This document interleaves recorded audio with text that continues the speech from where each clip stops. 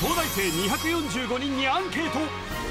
水害の被害も受けにくく残っている宗教的な建築としては極めて稀だと思います。日本の高度経済成長の象徴とも言えるような建物だと思います。東大生が世界に誇る日本の建造物から超難問。さらに。みんなどっちがいいんでしょうか？悩みどころですね。知力と駆け引きが問われる新ステージも。なんでそれ言うの？東大王水曜夜7時。